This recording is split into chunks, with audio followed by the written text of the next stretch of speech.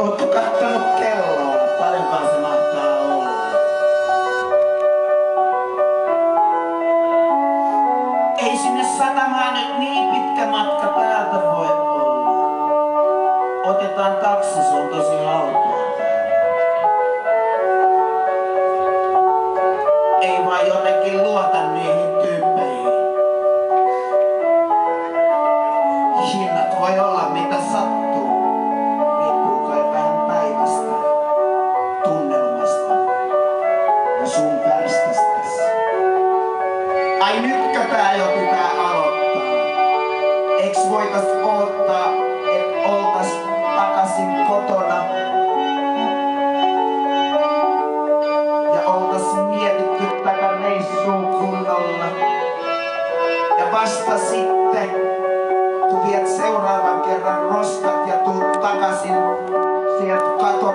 Katoksesta, niin sit sä voit sanoa, että minkä takia sun aina pitää olla tollanen jännittäjä, jotenkin etukäteen säätäjä ja hirveen vainoharhanen ja ennakkoluulonen.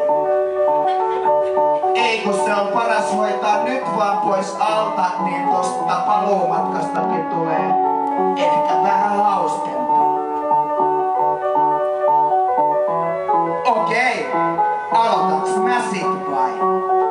No joo, selkeästi oot jo aika kierroksilla.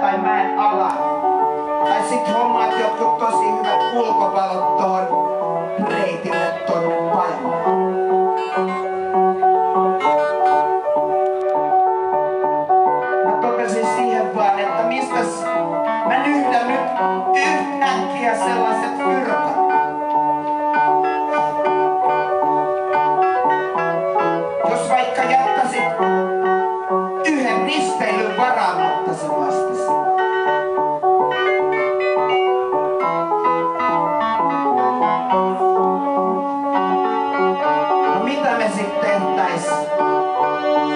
Se meillä näitä risteilyitäkään ois.